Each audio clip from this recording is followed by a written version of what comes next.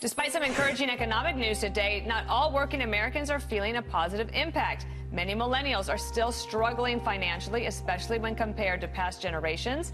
NBC News has confirmed uh, that North Korea, North Korea has fired a ballistic missile. Right now, a whole lot of people are caught literally between countries. Many believe they cannot go back to in a country that says it doesn't want them. They're on a bridge. This is new video on the border between Guatemala and Mexico, trying to make their way into Mexico or, for some, the United States. This morning, President Trump defiant as the special counsel investigation ramps up, saying during an interview with Fox News on Sunday he would not overrule his acting Attorney General Matthew Whitaker if he decides to curtail the special counsel investigation into Russian meddling. It's going to be up to him. Uh, I think he's very well aware politically. I would not get involved. Our country is in the middle of an extreme crisis, a crisis that threatens our foundation a crisis that threatens the values we all hold, hold dear, a crisis created to blind us to the truth. America is divided. As we fight and bicker, we push each other away. Republicans, Democrats, the left and the right, family against family. So, in a time like this, we need something to rally behind. We need something to agree on. We need to tweet at Sadie Robertson to unblock me.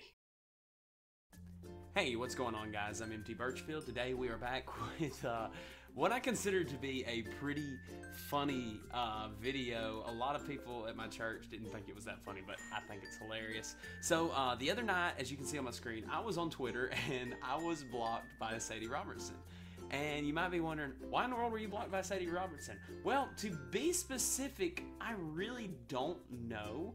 It just kind of happened. Um, here, let me see if I can go back uh, to where we were at. We'll go to my media. Sorry, ex excuse that face right there. Um, let's see here. Let's see. Let's see. Here we go. Okay, so Sadie Robertson had tweeted out. She said, "If you were a gas station snack, which snack would you be?" So me, and all of my hilarity, uh, I answered and I said, "Oh, the gas station sushi," because no one wants to try me, and put a little laughing emoji. You know, thinking this is an obvious joke. It's gonna be funny, but apparently, it's enough to get you blocked.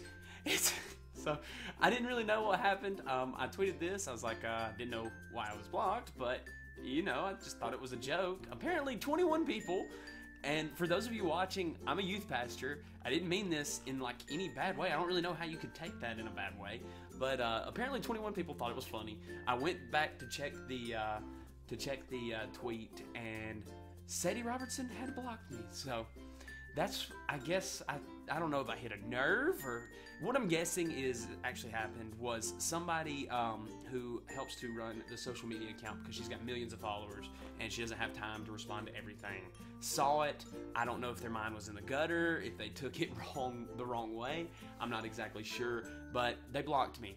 And so I'm not blocked on Instagram. I can still still see all her stuff. I sent a message on there, which I know was like super duper long shot to ever get in contact with her or anybody from her social media social media uh, platform. But uh, I'm not mad. I'm, I'm not upset about this. I thought it was really funny, and uh, I got to share it with a bunch of people um, at my church and now on YouTube because I thought this was hilarious. But you know what? We have to end this injustice. We have to fight back.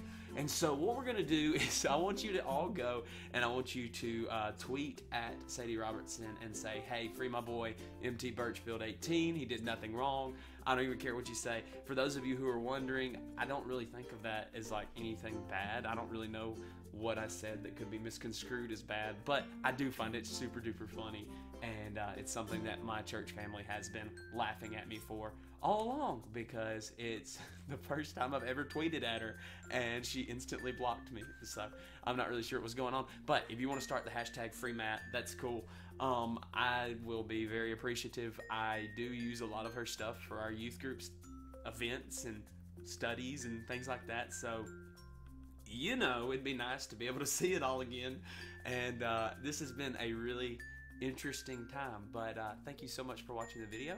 I just wanted to let everybody know that Sadie has me blocked on Twitter, and I'm not really sure why. So if this reaches you, Sadie, please know that I think you're hilarious, funny, really pretty. You want to go out sometime? Hey, shoot. Hit me up in my DMs. But uh, that'll be it for the video today. Thank y'all for watching, and we'll see you next time. Bye.